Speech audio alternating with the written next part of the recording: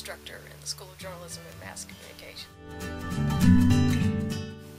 Space in visual communications is important because it gives visual breathing room.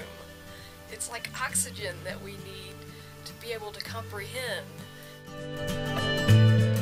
Probably would be worried about um, using too much and not using the whole canvas.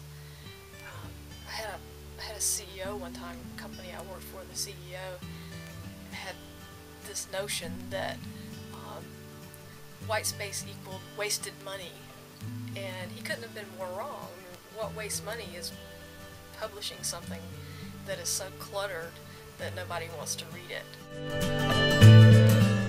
You can um, frame elements in a certain way. It doesn't necessarily have to be white space, but uh, can you can use space to draw attention to elements. You can distinguish them from other elements.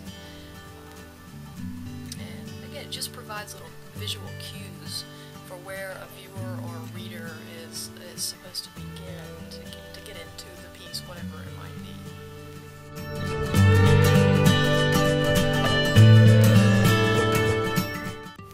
Hi, I'm William Goodman. I am the host and founder of Between the Panels, a comic book website devoted to the latest breaking comic book news, and also a podcast of the same name.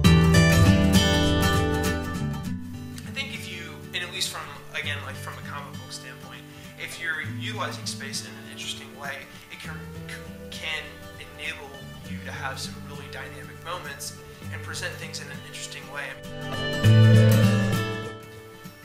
Think some mistakes that I've certainly made when in terms of designing things for, for my website or just in my free time is realizing that there has to be a balance between too much and too little. And I think that finding that balance goes into your own personal philosophy of design and how you decide you want to lay things out.